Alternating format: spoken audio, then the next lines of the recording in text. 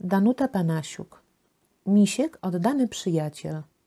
Bajka mojej mamy Oli z Pawłowa. Dawno temu na skraju niewielkiej wsi mieszkała wdowa. Miała pięcioro dzieci, trzy córki i dwóch synów. Mieszkali w drewnianym domku z kolorowym gankiem. Na swoim podwórku trzymali różne zwierzęta, łaciate krowy, dwa konie, kilka puchatych owiec, w chlewku kwiczały świnie, a przy domu biegały psotne koty i spacerowały gęsi. Pracy przy zwierzętach było co niemiara, a że kobieta była sama, dzieci musiały jej pomagać. Pewnego jesiennego dnia wdowa ze starszymi synami wybrała się w pole kopać ziemniaki. Chłopcy założyli konia do wozu, a młodsze siostry usiadły wygodnie na wozie i jazda w pole. Słoneczko wyglądało za chmur, więc pogoda zapowiadała się piękna. Kiedy mijali ostatnie zabudowania i już mieli wjeżdżać na polną drogę, najmłodsza z córek zauważyła, że coś malutkiego porusza się pod krzakiem. Kobieta pociągnęła za lejce i koń zatrzymał się, a dzieci pośpiesznie zeskoczyły z wozu. Okazało się, że ta malutka kulka to szczeniak, cały brązowy z białą plamką na szyi. Mama kazała jednak zostawić pieska tam, gdzie go znalazły, bo na pewno do kogoś należał. Po skończonej pracy w polu, kiedy słońce chyliło się ku zachodowi, wracali z całą skrzynią ziemniaków. Dzieci miały nadzieję, że piesek nadal będzie w tym samym miejscu. Brązowy szczeniak, już na pewno głodny, łaził nieporadnie po wysokiej trawie. Dzieci bardzo prosiły mamę, aby zabrać go do domu. Kobieta pomyślała, jak urośnie, to będzie dobrą pomocą przy domu. Więc go przygarnęli. Powrót do domu był bardzo radosny. Przez jego brązową sierść dzieci nazwały pieska Misiek. Bawiły się z nim, karmiły i tresowały. Czas mijał. Misiek wyrósł. Traktowany dobrze, rozumiał polecenia, których go uczono. Zaganiał świnki czy owce, które uciekły z chlewa. Zabawnie wyglądało, kiedy gęsi wchodziły w ogród, a pies wyprowadzał je stamtąd, łapiąc delikatnie za długą szyję.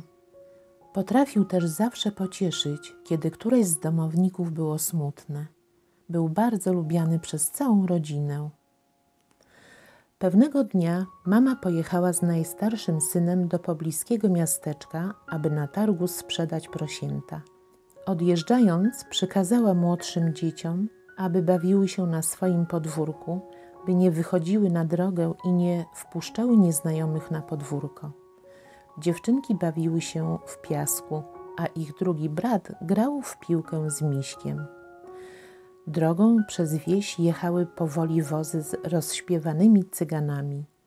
Ludzie we wsi zamykali bramy, aby żaden z nich nie wskoczył na podwórko, ponieważ cyganie mieli w naturze zabrać coś gospodarzom.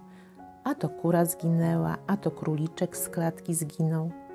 Cyganie nie posiadali własnych domów, tylko jeździli taborem z miejsca na miejsce. Cygańskie kobiety potrafiły przepowiadać przyszłość z dłoni. Kiedy wóz cygański zbliżył się do domu wdowy, dzieci wystraszyły się. Nie słuchały nawoływań cyganki, tylko siedziały cichutko na ławce pod rozłożystym kasztanem, który rósł przy domu. Młody cygan, kiedy zobaczył, że dzieci są same, przeskoczył ogrodzenie i zaczął zagadywać do dziewczynek, pokazując im cukierki. Cały czas oglądał się za kurkami chodzącymi po podwórku. Dzieci nie wiedziały, co robić. Kiedy cygan zaczął łapać kury, dziewczynki zaczęły płakać. W tym momencie śpiący w cieniu misiek zerwał się na nogi i szybko przybiegł do dzieci. Gdy zobaczył obcego na podwórku, zaczął głośno szczekać i puścił się za nim w pogoń. Cygan nie spodziewał się tego, bo nie widział wcześniej śpiącego psa. Zaczął uciekać, a że kasztan był najbliżej, wspiął się na najniższą gałąź. Pies i tak zdążył złapać zębami za nogawkę w spodniach. Z nogawki zostały strzępy. Cygan na trzęsących się nogach wspiął się jeszcze wyżej. Misiek podskakiwał pod drzewem i ujadał przeraźliwie. Cygan, widząc, że to nie przelewki, zastanawiał się, jak przeskoczyć ogrodzenie. Mieszkający obok sąsiad, słysząc ujadanie psa, zaczął iść w stronę domu wdowy. Wozy cygańskie ruszyły szybko w dalszą drogę, a cygan, przeskakując z gałęzi na gałąź, spadł z drzewa do rowu przy drodze. Tak niefortunnie upadł, że przyciął sobie zębami język. Zerwał się na równe nogi i widząc nadbiegającego, szczekającego miśka, zaczął gnać swoich braci. Wozy już były daleko. Cygan krzyczał za nimi, a że miał przygryziony język, zamiast poczekajcie, to wołał poklekajcie. Kiedy pies odegnał intruza dość daleko, wrócił zadowolony. Dzieci przybiegły do niego i zaczęły przytulać z wdzięcznością swego bohatera. Misiek sprawdził się bardzo dobrze w roli obrońcy podwórka i rodziny swojej pani. Jeśli traktujemy zwierzęta dobrze, są dla nas wdzięczne i pomocne, są dozgonnie oddanymi przyjaciółmi.